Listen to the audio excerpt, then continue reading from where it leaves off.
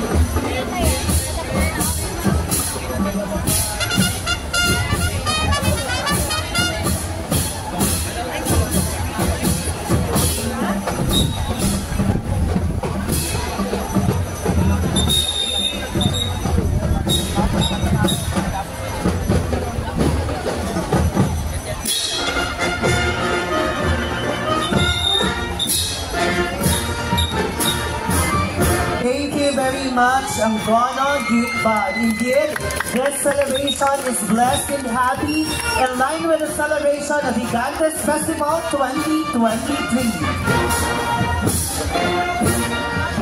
At patuloy po ang paalala sa ating mga manonood na wag po nating i-block ang ating mga exit at sa lahat po ng mga panauwiin at ng mga nanonood sa unahan po ng ating mga board of judges, please wag po tayong, wag niyo pong hayaang tumayo ang inyong sarili dahil nakaharangan niyo po ang ating mga um, nanonood ng mga sponsors sa ating entablado. At syempre, patuloy pong paalala, ang mga hurado lamang po at ang ating mga um, sponsors ang ating uh, pinahihintulutang nasa entablado ngayong hapong ito.